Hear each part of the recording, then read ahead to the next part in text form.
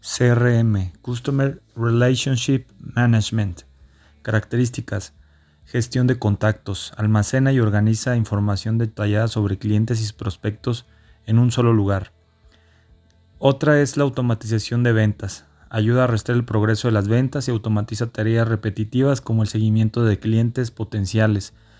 Esto es muy aplicado para las empresas que generan ventas, algunas aseguradoras, bancos.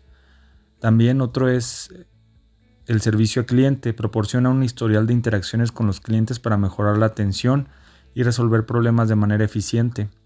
Gestión de tareas y actividades. Facilita la asignación y seguimiento de tareas relacionadas con los clientes.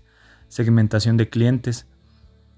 Permite clasificar y segmentar los clientes para eh, que tengan grupos específicos y eh, enviarles diferentes estrategias de marketing. Y también genera analítica y reportes, ofrece informes detallados y análisis sobre el comportamiento de los clientes y las ventas. Sus funcionalidades, bueno, también la centralización de información, integra todos los datos de clientes en una única plataforma accesible, seguimiento de interacciones, ya que registra todas las comunicaciones con los clientes, incluidos los correos, automatización de marketing, permite crear y gestionar las campañas de marketing, soporte multicanal, gestiona interacciones con los clientes a través de múltiples canales. Eh, para la Business Intelligence, características, tiene un data warehousing, consolida datos de diversas fuentes en un repositorio central para un análisis más eficiente, análisis de datos, ya que cuenta con herramientas para analizar grandes volúmenes de datos y descubrir patrones, tendencias y oportunidades.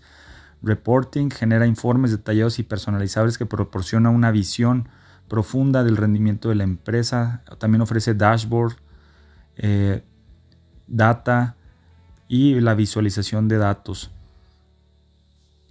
Sus funcionalidades integra datos, consulta eh, que permite también a los usuarios realizar consultas personalizadas y obtener respuestas, respuestas inmediatas, alertas y notificaciones sobre los, eh, los análisis. Eh, también una colaboración, facilita la colaboración y el intercambio de informes y análisis entre diferentes departamentos y equipos. El SAP o CAP fue fundado en 1972 en Alemania por cinco ex empleados de IBM.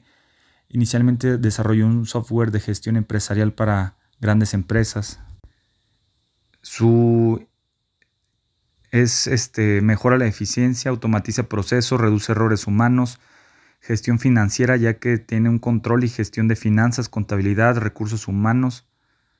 También ayuda a la transferencia de datos de sistemas antiguos a la nueva plataforma SAP también implementa el sistema y monitorización continua para resolver cualquier problema.